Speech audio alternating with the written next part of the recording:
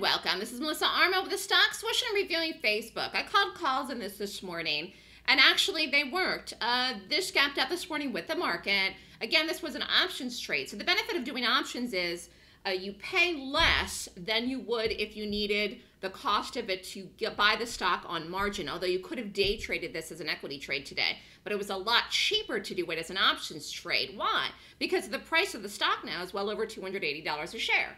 So uh, doing options is a more cost-effective way if you have a small trading account. You can buy one contract in something like this. Anyways, long story short, this gapped up today with the market. Market made new highs. Facebook is strong. And looking here where it was, it closed at 276.97. Boom. Opened in the morning at 279.16. Nice move up in this. Continued even into the pre-market.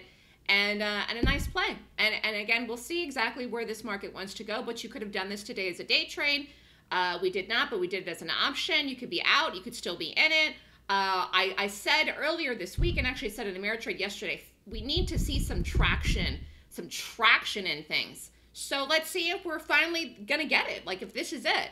Uh, because that's really what, as a, as a trader, as an active trader, again, I play momentum. I'm playing momentum in the gap. You've got to get movement. If you don't have a movement and momentum, there's no way to, for you to make any money. So, you know, December is a month you got to be careful. It'll be interesting to see if we really get a volatile month and I, like I'm expecting, because we really did not have that in November. But beautiful bullish call here today in Facebook. Beautiful bullish gap and we'll see where it goes here. Good luck, everyone. If you're interested in learning my method, the last class for 2020 is December 12th and 13th. Email me if you'd like to sign up. Have a great day, everyone.